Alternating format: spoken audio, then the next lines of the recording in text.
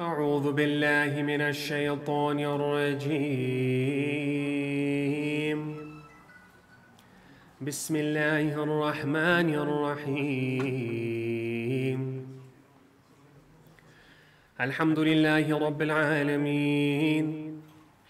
والصلاة والسلام على سيدنا وعظيمنا وحبيب قلوبنا وشفيع نفوسنا بالقاسم محمد.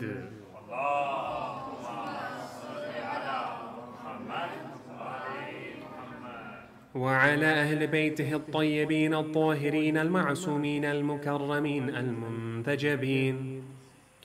أما بعد فقد قال الله تعالى في كتابه الكريم وقوله الحق. بسم الله الرحمن الرحيم.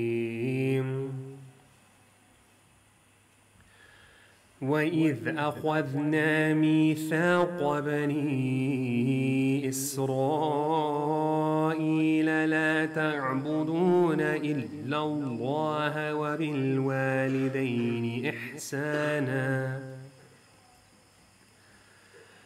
وبالوالدين إحسانا وذي القربى واليتامى والمساكين وقولوا للناس حسنا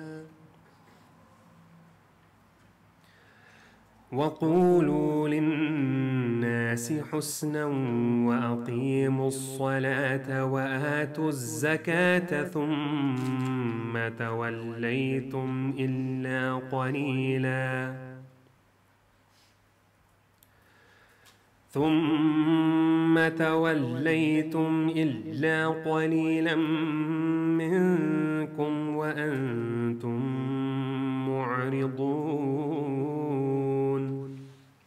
صدق الله العلي العظيم بسم الله الرحمن الرحيم رب اشرح لي صدري ويسر لي أمري واحلل عقدة من لساني يفقه قولي السلام عليكم جميعا ورحمة الله وبركاته The topic of these nights has been rights within the religion of Islam. We've looked at rights in a theoretical sense, then we looked at them in a practical sense as well. Rights of Allah subhanahu wa ta'ala, the rights of ibadah, and then we started to look at rights of other people, rights of one's spouse, rights of one's parents, rights of one's children. And inshallah, we will continue in that progression. And tonight, inshallah, we will talk about the rights of one's family. Now, Allah subhanahu wa ta'ala, when He put us on this earth, He gave us some responsibility for the earth itself as well. He says, for example, when He is creating Nabi Adam alayhi salam, He says, Inni ja'ilun fil ardi khalifa. I am creating for this world a khalifa, a vicegerent, a representative, a custodian of this earth. And that, in one way, is what our role upon this earth is.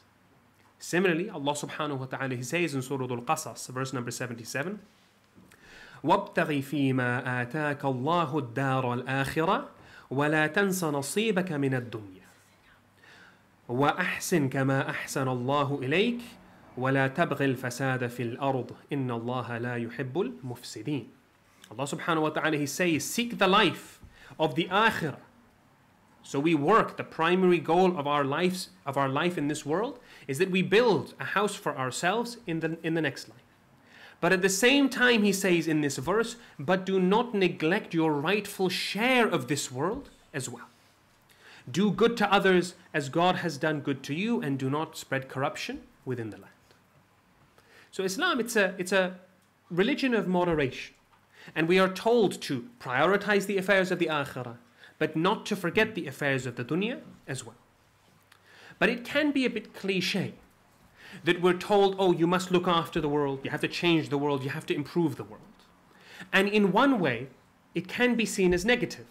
Because number one, you assume that you have the power and the resources to change the world. And number two, there's the hubris that you think you can approach a system and a machinery which is so complex as the world itself, and you can do better than anyone else who has tried. And from that perspective, there is absolutely a negativity. But from the Islamic perspective, we don't start by looking at the world deciding to change it, even though we look to impact the world in a positive way. So, how do we impact the world? There are some old notes from a monk around a thousand years ago.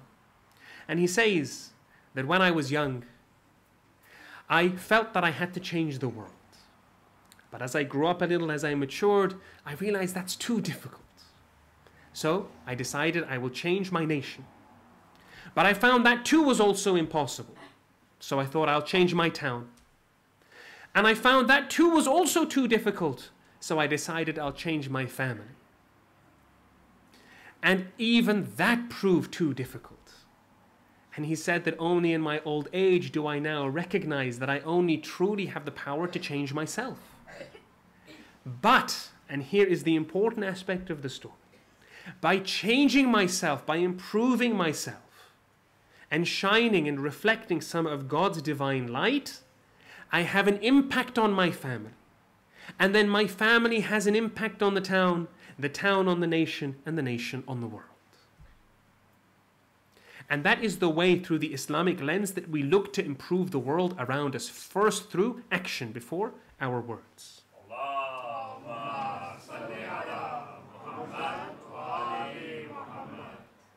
Jalaluddin Rumi, he writes in some poetry, he says, Yesterday I was clever, so I wanted to change the world.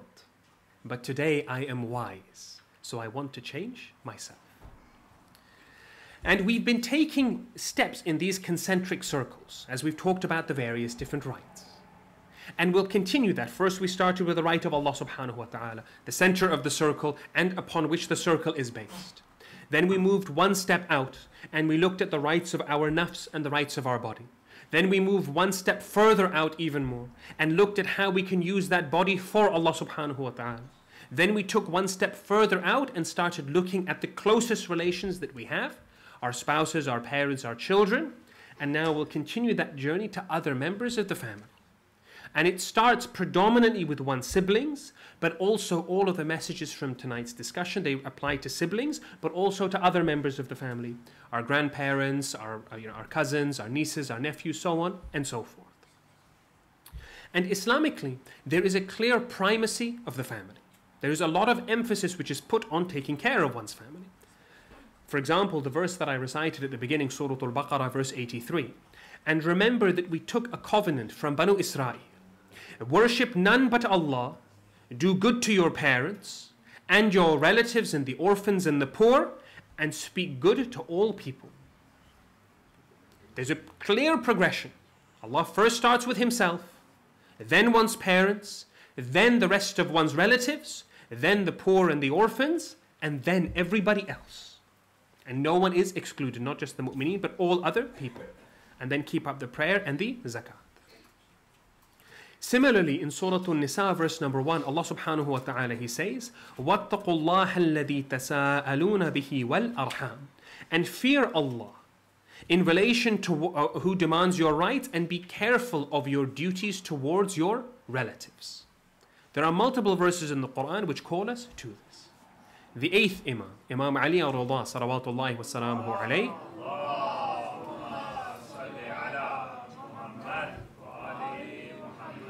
He says in a famous tradition that Allah subhanahu wa ta'ala, He has paired a few things together. You find them together within the Holy Quran. And when one is accepted, the other can be accepted, but if one is rejected, the other might be rejected as well. What are these three pairs that he points to? He says the first is salah and zakat. How many times in the Quran has Allah subhanahu wa ta'ala, including in the verse that I just mentioned, Surah An-Nisa verse 1, Allah, He invokes us to prayer, but alongside prayer, zakat. The other is He said gratitude to Allah subhanahu wa ta'ala and gratitude to one's parents. They are linked throughout the Holy Quran. And finally, the link He says is between piety, that is fear of God, genuine true religiosity, and kindness to one's kith and kin, kindness to one's relatives. And we've spoken over the last few nights about the importance of the nuclear family, how it is the foundational, uh, the, the foundation of, of society. The bricks of the society around us are formed by strong nuclear families. So, what is the first right of the relatives? The first right of our relatives is the right of silatur rahim. That is establishing of the relations. And the term itself, silatur rahim, it quite literally means the joining of the womb. Rahim referring to the womb. And in other words, it means to do good and build relations with our close relatives. The Holy Prophet Muhammad sallallahu alayhi wa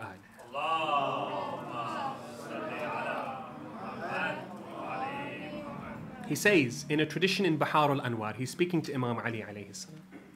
And he gives Imam Ali quite a beautiful uh, piece of advice. He says, oh, he says, Oh Ali, even if you have to travel two years to do good to your parents, do so. Even if you have to travel one year to do silatul rahim, do so. Even if you have to journey one mile to visit a sick person, do so. Even if you have to travel two miles for a person's funeral, do so. Even if you have to travel four, mi- four miles to meet a believing mu'min, then do so. All of these different rights that Allah subhanahu wa ta'ala has put upon us. And amongst them, one of the most important is that of silatul rahim, is that of building relations with our families. And when we think about it, by fostering positive relations between our, ourselves and our family members, we gain both practical benefit in this world and spiritual benefit in the akhirah. So, what about practical benefit? With your family, you have a stable, persisting unit that has the potential to be on your side for your entire life. There's a, a, quite a famous story, you may have heard of it before, that a man who wanted his sons to be united, they were always quarreling, and there's nothing, no argument he could use in order to convince them to join forces, to come together. And so one day he tries to demonstrate to them the importance of unity. So he brings them forward, all of them surround him, and he ties a group of sticks together. And he passes the bundle around to each of his children, and he says, Try and break it, try and snap this bundle of sticks. Each of them tries, but none of them are able to break it. He then undoes the knot, and he hands out one stick to each of his children, and he said, Now try. And they snapped easily. And he said, That is the analogy of the unity of your family. Together you stand, divided you fall. That is part of the importance of one's family. And we gain that benefit from them so long as we foster that relation. Imam Ali salawatullahi wa salamuhu alayhi.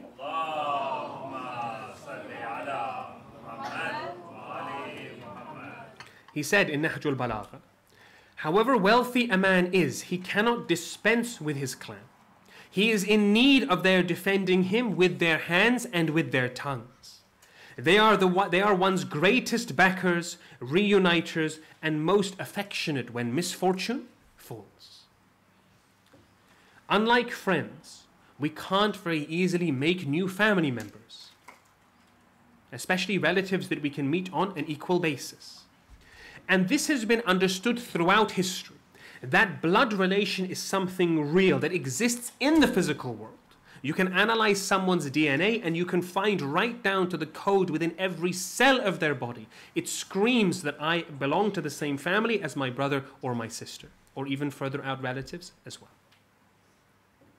And with that, with that, there's been an understanding that no other relation is as strong especially that of friendship or of promises or of contracts or whatever it might be. That's why, if you've noticed, whenever you look at the stories of old, you often find that people they want to solidify things through marriage. You want to bring two kingdoms together. For example, Ferdinand and Isabella in Spain in the 1400s, what did they do? The two of them they married in order to bring the disparate kingdoms of Spain together. And then it went on to become the most powerful empire the world had ever seen up to that point, or at least the richest.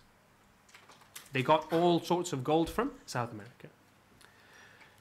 And throughout the history of Europe, you find constantly there were these relations between various families. In fact, the gene pool in Europe, particularly in the Habsburgs family, got so small because they were ruling, they were in power for about 700 years that they started to develop actual visible uh, genetic abnormalities. And you can actually see it. There's the famous Habsburg's chin. For those who are interested, you can see it on the portraits in the palaces around Europe.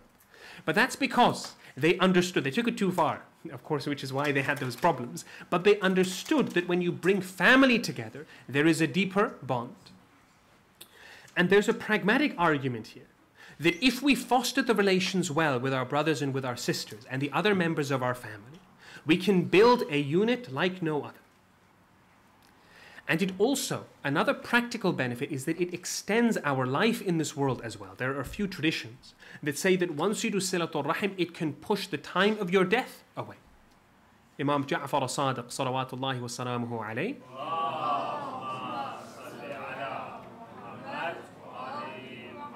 he said to one of his companions, O Maysa, the time of your death loomed close to you many times, but through the kindness to your relatives, through your silatul rahim, you pushed it away. You extended your life in this world too. So here are a couple of the practical benefits. But there are also spiritual benefits as well. There's a wonderful tradition from our fifth Imam, Imam Muhammad al-Baqir alayhi salam.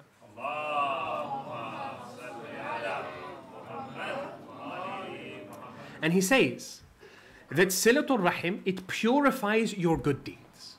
And he goes on to explain what that means. That when we do salah, for example, we might not be concentrating 100%. Let's say we were concentrating 80%. So the good deed that we're giving, it's slightly faulty. We're fasting in Ramadan and we get a little bit impatient at some point. We give a faulty fast back. When we're giving charity, we have a mixed intention so on and so forth. They, they are good deeds, and depending on the impurity, they might still be good deeds. And when we do Silatul Rahim, Allah subhanahu wa ta'ala, He says, you know those other good deeds which were on the verge, which weren't quite there? Because you have built relations with your family, I accept them as if they're completely pure.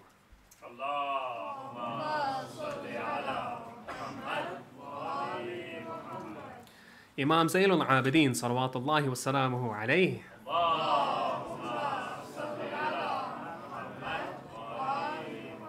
He says in the Rasalatul Huquq, he records the right of the brother. But of course, this includes the rights of one's sisters as well. So think of it as the rights of your sibling. He says, The right of your brother is that you know he is your hand, your might, your strength. Take him not as a weapon with which to disobey God, nor as equipment with which to wrong God's creatures. Do not neglect to help him against his enemy and give him good counsel. If he obeys God, good and well, but if he disobeys God, you should honor God more than him, and there is no strength except in Allah subhanahu wa ta'ala. So let's briefly, let's break down the different points that the Imam is saying here before going on to the next topic. First, Imam says that they have a right for, to, for us to be their helping hand. But it is both ways. You are their strength and they are your strength as well. If you have a sibling, if you are lucky enough to have been blessed with a sibling, whether older or younger, you might not realize now how important it is. You might not realize the depth of your relation with that person because you're exposed to them every single day. You have so you spend so much time with them you can't wait to get a break from them sometimes. But there's no one else in the world that can have a relation that unique with you because they have grown up with you. They have witnessed the same experiences as you growing up. They've had the same parents, they've had the same childhood, they've had similar economic circumstances, they've had similar hardships, similar highs, similar lows, overlapping interests. And so, if we foster that relation, we can foster a relationship with someone the likes of which we will never meet in the real world. And on top of that, it is one established by blood. It's a golden opportunity. And again, they are our strength and we are their strength. And he says that with that strength, recognizing that you have that strength, you complement each other in good, not in evil. So in the way of Allah subhanahu wa ta'ala, not in the way of shaitan. Allah subhanahu wa ta'ala, He warns us in the Holy Quran, Surah Al-Ma'idah, verse number 2. Bismillah ar-Rahman ar-Rahim. وَتَعَاوَنُوا عَلَى الْبِرِّ وَالتَّقْوَى وَلَا تَعَاوَنُوا عَلَى الْإِثْمِ وَالْعُدْوَانِ وَاتَّقُوا اللَّهِ إِنَّ اللَّهَ شَدِيدُ الْعِقَابِ help one another in virtue, righteousness, and piety, and do not assist one another in sin and transgression. Fear Allah subhanahu wa ta'ala, for He is severe in punishment. On the positive side, if we aid our siblings, if we improve things together, we try and do good works, what happens? We're told in one hadith by the Holy Prophet Muhammad sallallahu alayhi wa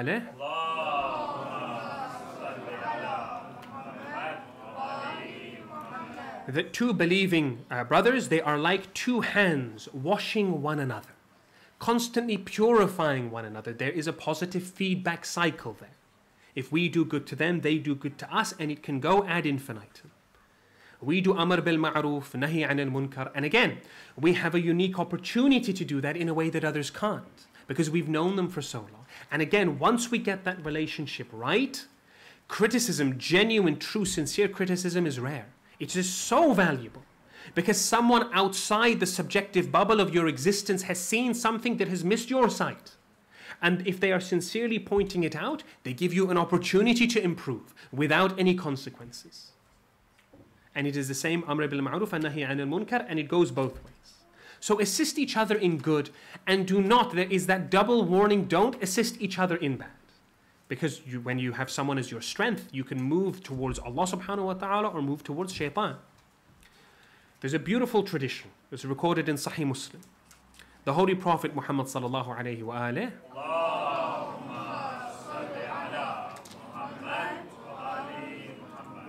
he says that anybody who calls someone to guidance, someone who, in, who encourages them to do good, they will get the full reward of whatever deed that person did without that person missing anything and without you losing out on anything. But if you encourage someone to evil, then you will get the punishment of whatever deed they commit without their punishment being reduced either. So when we convince, so if we're doing haram ourselves, that's one thing. If we know we're doing something wrong, May Allah subhanahu wa ta'ala forgive us. May Allah give us the strength to overcome it. But at least we have the humility and the shame to keep it within ourselves. But if we share it and we share it with one of our siblings, then we are opening the door of haram for them too. That's another sin. And then if they commit the sin, then we get the punishment of them committing the sin as well. There's no benefit there. There's a virtuous circle if we encourage good, and a vicious circle if we encourage the third right that the Imam says is to assist them against their enemies, but not if they are amongst the oppressors. And inshallah, we will we'll talk about the rights of enemies on, on Sunday on the Soy Majlis. But needless to say, that when we support our siblings, we support them in haqq. When we support our siblings and our family members, the important underlying rule is that we do so on the path of haqq. Islam, again, it is a rational faith, it is a good religion. It does not simply say that because someone is your family, it means they're automatically right. And we link that exactly to the right that we just mentioned that you encourage them in good and not in evil. And they have that right over you, that if they're doing something wrong, you tell them.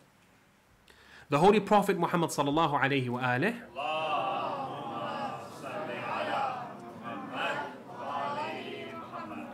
in Wasa'il al-Shia, we're told that when he was going on the Mi'raj, he saw the door to hell.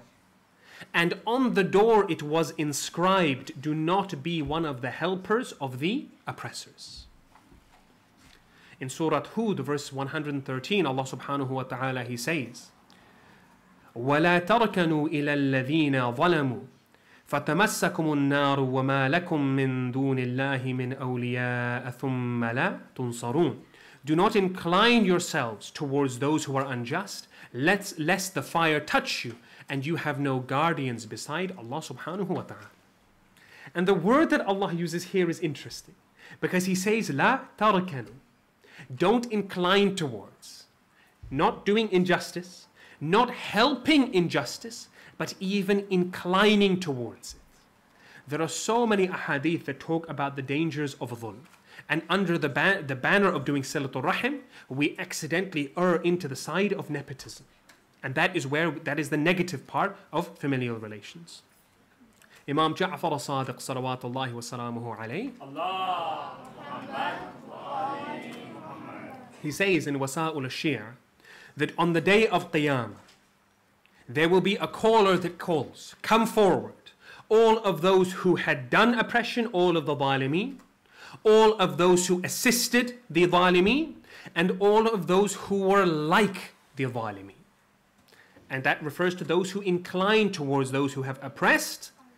So much, Imam says, that even if you gave a pen and ink to an oppressor, and they used that, and you know, obviously the intention is there, you were aware, and they used that as part of their oppression, then on that day you will be bundled up in the same cage as the oppressor himself and the assister of the oppressor and thrown into hellfire. That is another right. We help them against their enemies, but only when it is just. And the fourth right Imam mentions is the right to good counsel. Now, advice, when someone seeks advice, it is everybody's right who asks us. The Imam, he says in the Risalat al-Huquq, he has the, uh, the right of the one who asks your counsel, that you give him your counsel and you conduct yourself with him with kindness. Meaning that if someone asks you for help, they have the humility to ask you for help, you try as best as you can to give them that help, and you do so compassionately. You don't look down on them, you don't hold it against them, so on and so forth. And that's one of the beauties of wisdom. As Imam Ali salam, he's differentiating between wealth and, and, and wisdom. He says, wealth, when you spread it, it gets smaller, but when you spread wisdom, it gets bigger. And although everybody has a right to our advice and our wisdom, our family has the primary right over it, where we put the most effort and the most time in order to try and help them. And we are careful. We always think. Because sometimes we think that advice is, is quite light. But in fact, there's, there's a line that I quite appreciated that Tolkien actually he writes. He says that we seldom give unguarded advice, for advice is a dangerous gift, even from the very wise to the wise, because all courses may run ill. So when someone asks for advice, we think about it. We realize that this is a big responsibility. It's not something that we just throw the first thing that comes into our mind. We think about it. And we recognize that even with our, our wisdom, with the best intentions, things might go awry. We want to give them as good advice as we would want to receive. And when we build that positive relation with our family members, particularly with our siblings, it's a two way street. It's not just the case that you will always give, because from them we also receive. There is consultation, something that Allah subhanahu wa ta'ala has encouraged in the Holy Quran, such as in Surah Shura, verse number 38. He says that those who hearken to their Lord establish regular prayer and who conduct their affairs by mutual consultation. That we try and engage in this didactic talk with one another. We go forwards and backwards. And our siblings and our family members are in a position where they can, they have the courage, they have the ability to try and, and, and tear what we're saying apart so that we can construct it positively. So that is another right over uh, our uh, advice and another right is that they have a right over us for kindness and for justice. Allah subhanahu wa ta'ala he says in Surah Al-Nahl verse number 90 بسم الله الرحمن الرحيم إن الله يأمر بالعدل والإحسان وإيتاء ذي القربى وينهى عن الفحشاء والمنكر والبغي That God commands justice and doing good and generosity towards one's relatives and forbids the, and forbids the shameful, blameworthy, and oppressive. And what's interesting is Allah subhanahu wa ta'ala here, He says three things. He commands justice and doing good and generosity. But the doing good and generosity, it falls under the category of justice. But Allah subhanahu wa ta'ala, He wants to put extra emphasis on that side of justice, on the compassionate side, on the good side. And there are lots of ahadith that encourage us to actively do things, do good things for our family members and fostering these relations. The Holy Prophet Muhammad sallallahu alayhi wa alayhi,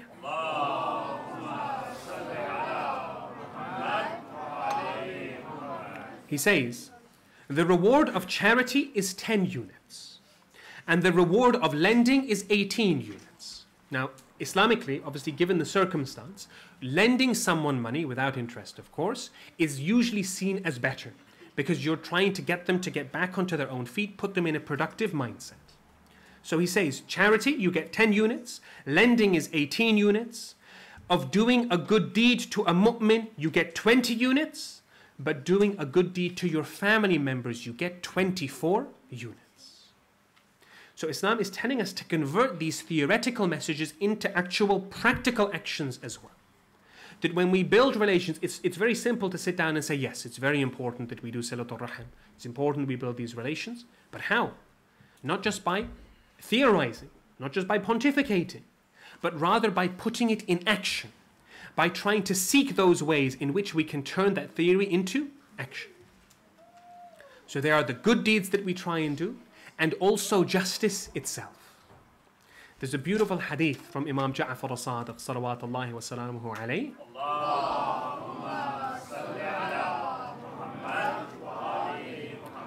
He says, as much as pure and cool water is craved by the thirsty, so too do people desire justice and equality. And its taste is sweeter and better for them. There is nothing better than justice. This is in Usul al Kafi. And when we interact with our relatives, there will, of course, there will be some relatives that we get on better than others. There'll be some who the relationship is more beneficial. But on what parameters? That is where the justice is so important here when we do Silatul Rahim. Because if we're fostering relations simply because we want something from them, only because of the pragmatic reasons, then we tend to gravitate towards the relatives who are slightly better off, the ones who are in a higher socioeconomic status, the ones who can give us things. And then we tend to neglect those who we see as lesser than us. May Allah subhanahu wa ta'ala protect us from that psychology. But each and every one of our relatives, they have that right over us, whether they are rich or poor, whether they're in a position where they can give to us or whether they can't. And who knows what the situation might be. Remember, one of the pragmatic benefits of family is that they can always be there for you when the going gets tough. And so, yes, you might see it right now that you're in a position where they take from you, but who knows, maybe tomorrow it will be reversed. And if you help them today, then they'll be there to help you tomorrow. Another right that we're told by the Holy Prophet Muhammad sallallahu alayhi wa alayhi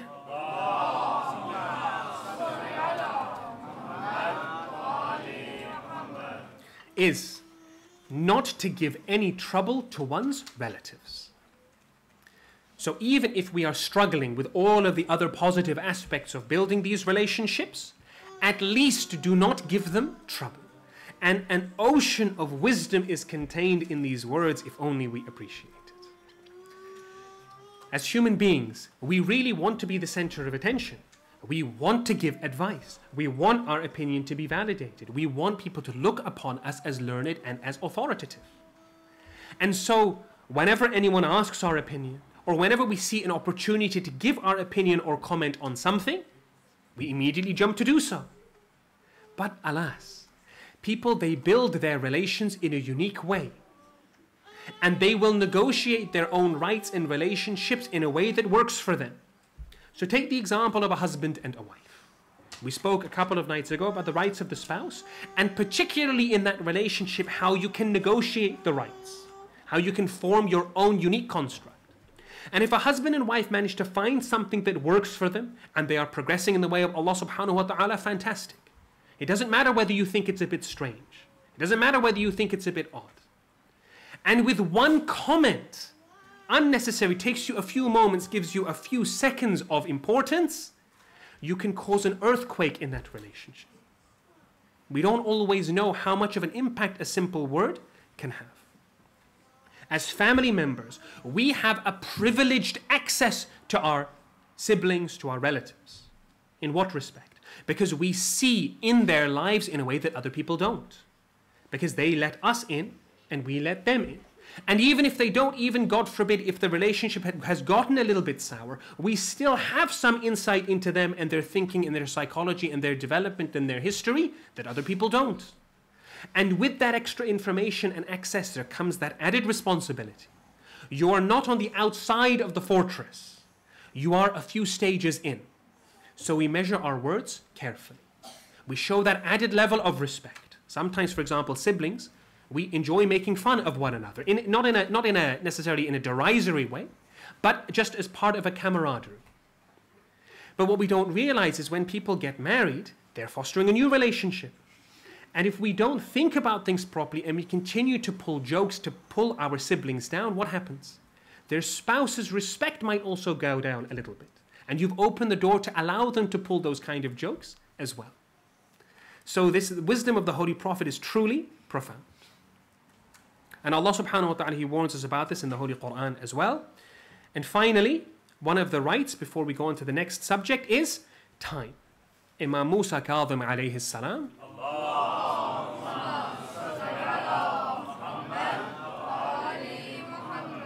He says that try and divide your daily time into four. A time for meditation for God, a time to earn your livelihood, a time to socialize with your friends, and a time to spend with the halal pleasures with your family. And it is that last one which is the key that unlocks the door to the rest.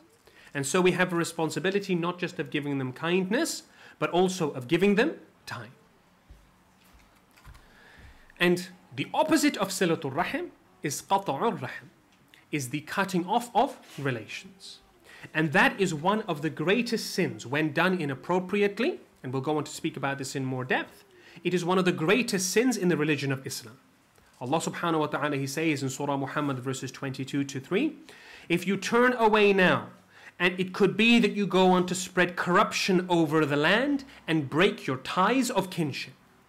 These are the ones God has rejected and made them deaf and blind. One of the people that the Imams told us not to befriend is the one who has callously cut his familial relations because in inappropriately cutting these relations he has cut off the rahmah of Allah subhanahu wa ta'ala. A man went to the Holy Prophet Muhammad sallallahu alayhi wa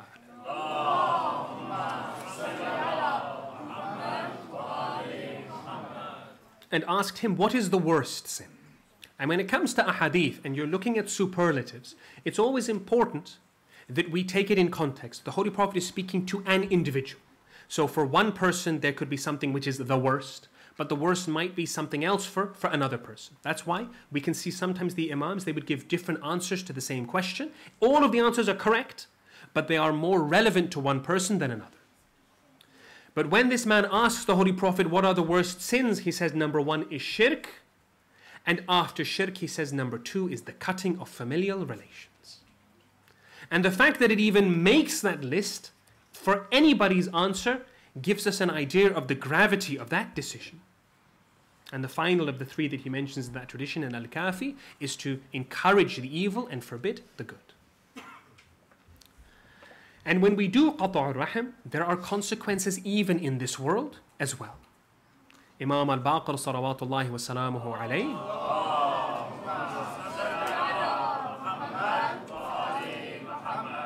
He says that Imam Ali alayhi salam wrote that there are three sins that when committed, a person will see at least some consequence of them in this world as well.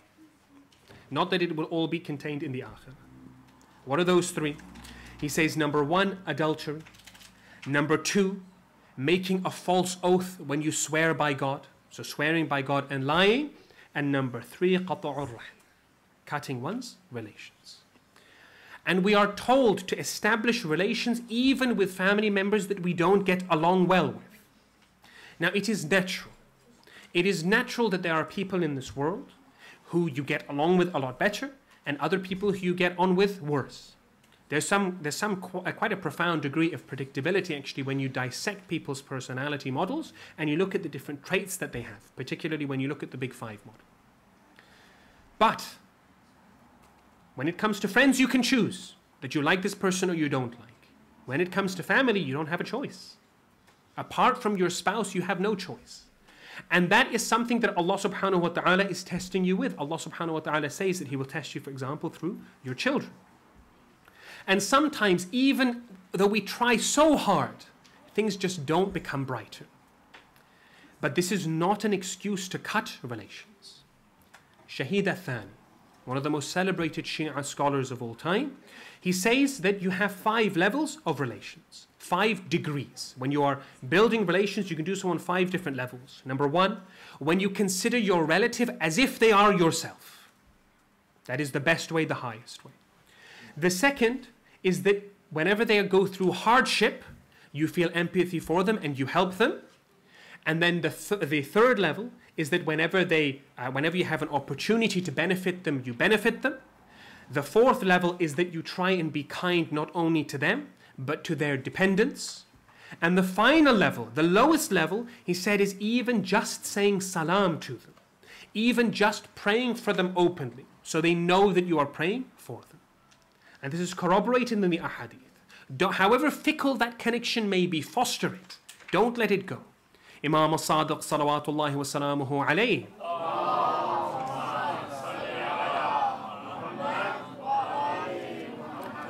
He says, maintaining the ties and charity, it makes the day of judgment easy for you. And it protects you from sins. Therefore, maintain your relations even through kindness, even through greeting them kindly, even through saying salam with proper akhlaq and being so cordial. And the Holy Prophet he says, even if you're just offering them a drink of water, something to keep that relationship alive. And it's part of our own honor that we keep that relation.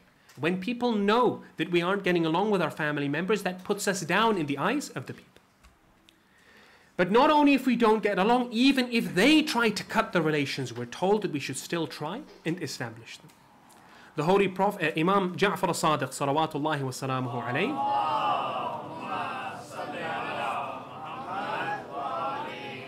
he says in Sheikh Saduq's Amali, the best of virtues is to forgive someone who has done wrong to you. And it is to maintain ties with one who tries to sever them, and to give charity to one who has deprived you.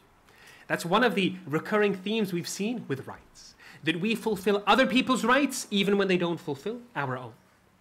And one of the ways we can do that is because we recognize that Allah is just. And Allah will balance the scales on the day of judgment. That even if I feel that I am not getting as much as I am giving, it doesn't matter because Allah subhanahu wa ta'ala will give me so much both in the dunya and the akhirah that it will more than recompense it. When we be the better person, it might, it might make them a better person as well. Imam Ja'far as-Sadiq salawatullahi wa salamuhu alayhi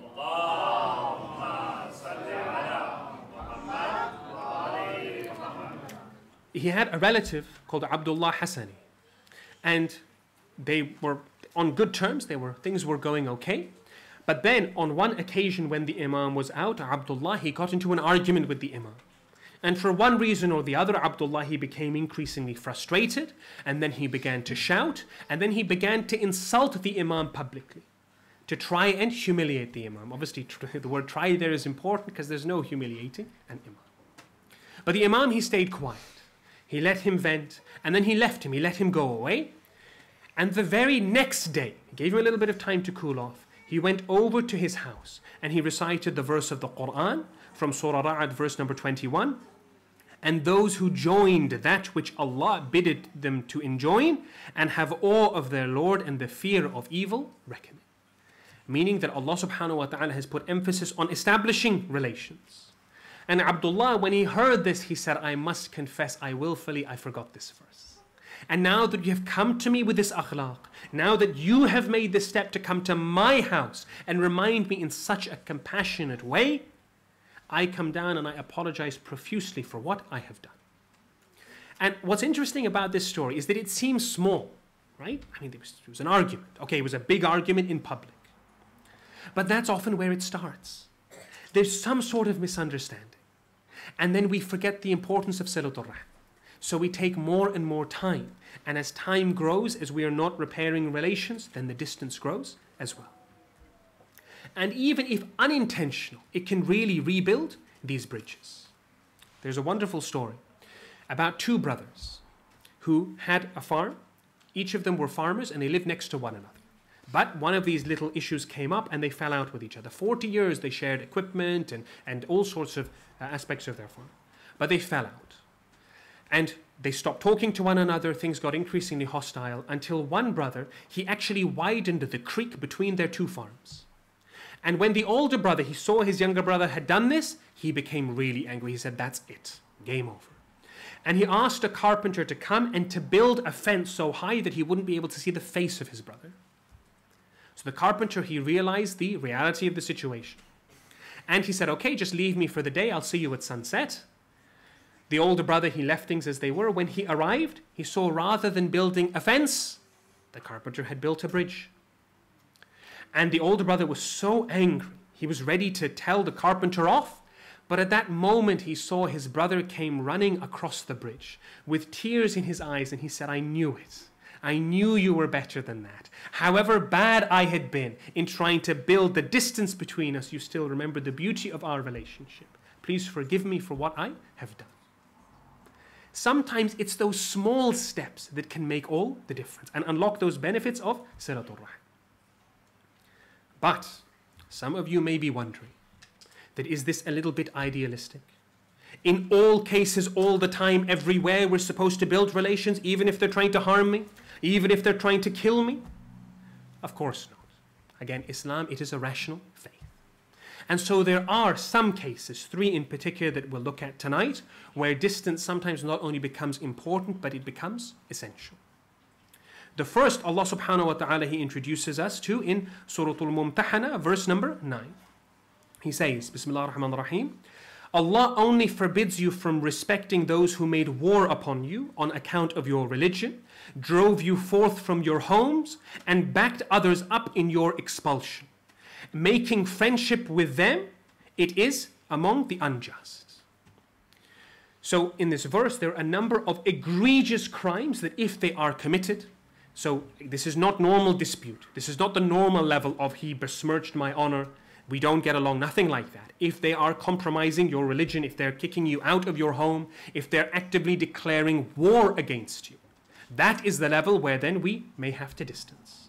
And Allah subhanahu wa ta'ala, He gave us the example of Abu Lahab, who was the uncle of the Holy Prophet, who Rasulullah kept trying to build relations with until the surah of Surah Al-Lahab, it was revealed. If they are an open enemy and they are actively causing pain, actively causing suffering deliberately, then there might be a case for distance. Number one. The second case is number one is if they have physical harm, number two, if there is potential significant spiritual harm. So let's say, for example, that they are open, openly committing some sin, or they have adopted a very haram lifestyle, and they flaunt it and you know that exposure to that is negative. Because Islam, it builds many barriers, right? So alcohol, for example, drinking alcohol is haram. But also touching alcohol makes you najis. You have to wash your hands. Even sitting on a table where alcohol is served is haram, right? There are several barriers before it gets to drinking. So that even if you slip up upon one, you don't end up in the harm and the clutches of the devil. And so if someone openly insists on this haram and is breaking down those barriers, or they do something so that your children are exposed to some sort of haram lifestyle or the normalization of something totally and utterly antithetical to your values and beliefs, then there becomes an importance for distance. Allah subhanahu wa ta'ala tells us in Surah Tahrim, verse number 6 protect your family from a fire whose fuel is people and stones. That's number two. And then the final one is if they are persisting in a haram and you're building relations with them, you're normalizing ties with them and trying to encourage this, is promoting that sin. So let's say they've done, for example, great dhulm against one's parents, and they continue and persist in doing it, or they've done something bad in society. But they want to build relations with you because they want some sort of support, or they want to look good in society, whatever it might be. In extreme circumstances, all of these are extreme circumstances. In those cases, then as well, distance, it becomes advised. And Allah subhanahu wa ta'ala, He tells us in Surah Mujadala, verse number 22, You shall not find people who believe in Allah and the latter day befriending those who act in opposition to Allah and His Prophet. Don't befriend them, even though they were their own fathers or their sons or their brothers or their kinsfolk. So we don't encourage that level of haram, but again, only in the extreme circumstances. The main focus is on trying to build relations, except in those detrimental areas. And the final thing to say about Silatul Rahim, about building familial relations, is not to forget the holy family and the holy household as well. When we build our relation with the family of Prophet Muhammad sallallahu alaihi wasallam, That is a form of silatul rahim. That is a form of building these relations. Allah subhanahu wa ta'ala He orders the Holy Prophet, فعل أمر, قل ما أسألكم عليه أجرا إلا المودة في القرب. I don't ask of you anything except for love of my qurba, love of my near kin. The Holy Prophet, he commanded us to love his Ahlul Bayt. This was an injunction, and an injunction not by him, but by Allah subhanahu wa ta'ala and immortalized in the Holy Quran. And when we build relations with Ahlul Bayt, when we acquaint ourselves in the way that we do that, there's lots of different ways to do it, including, for example, attending majalis like this, remembering them on the days of their birth and their shahada, giving in their name, praying for them, so on and so forth. But one of the ways is learning about them as well. And as we learn and we build that relationship with members of the Ahlul Bayt, we see that there are no better examples of the rights being respected in the history of Islam than through Ahlul Bayt themselves. They are a practical manifestation of the theoretical lessons that Muhammad wa Ali Muhammad gave us.